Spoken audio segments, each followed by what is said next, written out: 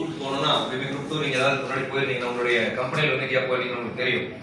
என்ன பண்ணுவாங்கன்னா ஒரு நார்மல் ஒரு இதுலேயே ஒரு சீப்பான ஃப்ளைட்டில் கூட்டு போயிட்டு இதுலயே கொஞ்சம் குறைவான ஹோட்டலில் ஸ்டே பண்ண வச்சுட்டு இருக்கும். But right from two thousand நைனில் ஃபஸ்ட்டு ஆரம்பித்தோம் ரெண்டாயிரத்தி எட்டு கம்பெனி ஆரம்பிச்சு ரெண்டாயிரத்தி ஒன்பதுலேருந்து ஃபாரின் நம்ம ஹவர்ஸ் பண்ணிட்டு இருக்கோம்.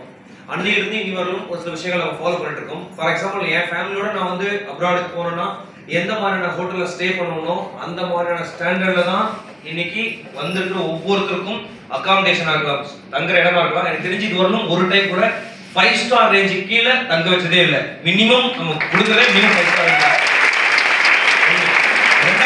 விஷயம். ஒன்ஸ் எலிஜிபிள் ஆகிட்டாங்க அப்படின்னா அதுக்கு அதுக்கான சார்ஜஸ் இதுக்கான சார்ஜஸ் அந்த மாதிரி எதுவுமே கிடையாது. ரெண்டு எலிஜிபிலிட்டி வந்து ரெண்டு லட்ச ரூபா சம்பாதிக்கிறவங்க வரலாம். அதாவது பன்னெண்டு வாரத்தில் இரநூறு பேர் கம்ப்ளீட் பண்ணால் வரலாம் அப்படின்னா இந்த ரெண்டு லட்ச ரூபாய் அவங்க பணம் சம்பாரிச்சு ரெண்டு லட்சம் சம்பாரிச்ச பணத்தை வீட்டுக்கு கொடுத்துட்டு ஏர்போர்ட் வரணும் மாதிரி சொன்னார் ஃபிளைட்ல கால் வைக்கிறது. ஃபிளைட்லாம் கால் வைக்க வேணாம். ஏர்போர்ட் வரணும் உங்களுடைய செலவு. I mean for example Coimbatore ஏர்போர்ட்டா இல்லை சென்னை ஏர்போர்ட்னா அது வரணும் உங்களோட டாக்ஸிக்கு உங்களோட செலவு. ஒன்ஸ் கோயம்புத்தூர் ஏர்போர்ட்டுக்கு நீங்க என்டர் ஆகிட்டீங்கன்னா அங்கிருந்து ஒரு ஃபார் எக்ஸாம்பிள் ஒரு அஞ்சு நாள் ட்ரிப் போறோம் இல்ல பத்து நாள் ட்ரிப் போறோம்னா அந்த அஞ்சு நாள் த்ரூ ஃபைவ் டேஸும் ஒரு டீ காஃபி கூட நீங்க செலவு பண்ண தேவையில்லை. ரைட் ஃப்ரம் நீங்க இங்க ஃப்ளைட் ஏறதுல இருந்து அங்க போய் இறங்குறது ஊருக்குள்ள கண்ட்ரியை சுத்தி பார்க்கிறது தங்குறது மூணு வேளை சாப்பிடுறது அத்தனையும் நம்மளோட செலவு. ஒரு பைசா நீங்க செலவு பண்ணணும் வேணாம். நான் மாநிலத்தில் சொல்ற விஷயம் ஒண்ணு தான் வரும்போது நீங்க உங்க பர்ஸ் வீட்லயே எடுத்து வச்சுக்கோங்க. விஷயம் பர்ஸ் கூட கொண்டு வர வேண்டாம். ஹண்ட்ரட் பர்சன்ட் அத்தனை நம்மளோட செலவு. ஃபார் எக்ஸாம்பிள் ஒரு ஒரு ஒரு சிட்டிக்கு போறோம் அங்க வந்து ஒரு தீம் பார்க் இருக்கு.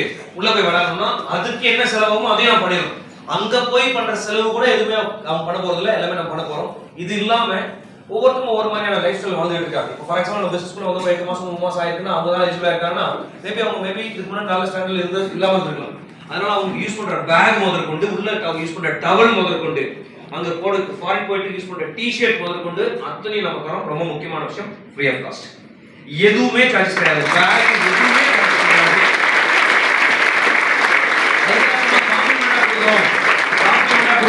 கொடுக்கறதுக்காக ஒரு மோசமான ஒரு குவாலிட்டி இல்லாம ஒரு பேக்கை கொடுக்கல. அவங்களுக்கு கொடுத்ததுக்கு அப்புறம் அந்த பேக்கை நீங்க வாங்கி யூஸ் நீங்க வாங்கி செக் பண்ணி பாருங்க குவாலிட்டி எப்படி இருக்குன்னு. வெளியில போயிட்டு ஒரு ரெண்டாயிரம் ரூபாய் கொடுத்தா எந்த மாதிரி குவாலிட்டியில பேக் கிடைக்குமோ அந்த குவாலிட்டியில தான் நம்ம வாங்குறோம். ஸோ பேக்கா இருக்கலாம் இல்ல டர்க்கி டவலா இருக்கலாம். டர்க்கி டவல் நம்மளோட பிரைஸ் நான் சொல்றேன். ஆயிரம் ஒரு டவல் ஆயிரத்தி